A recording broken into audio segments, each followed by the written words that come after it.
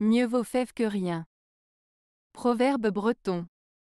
Ce proverbe breton, mieux vaut fève que rien, signifie qu'il vaut mieux avoir quelque chose de modeste que rien du tout. En d'autres termes, il est préférable d'avoir un petit quelque chose que de se retrouver complètement sans rien.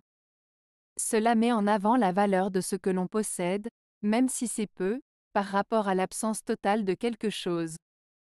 C'est une manière de souligner l'importance de ce que l'on a, aussi modeste soit-il.